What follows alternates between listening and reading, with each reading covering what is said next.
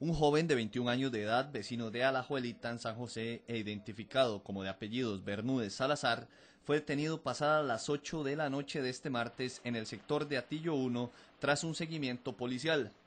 La astucia de los efectivos les permitió notar una actitud extraña en el sujeto, quien caminaba muy sospechoso por vía pública. Tras detenerlo, la policía le localizó al joven un cargamento de droga que se presume era para la venta al menudeo, conformado por 100 piedras de crack y 24 puchos de marihuana.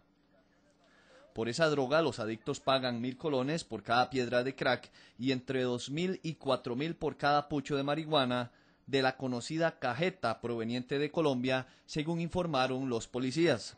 Sobre este caso, el oficial de la Fuerza Pública de Atillo, Josué Suárez, detalló.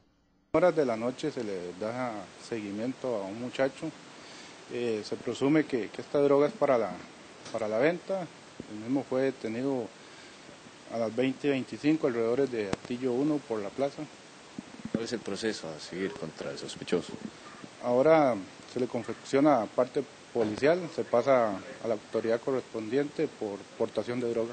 La policía indicó que el sujeto detenido con los ilegales psicotrópicos cuenta con antecedentes penales por el delito de robo agravado.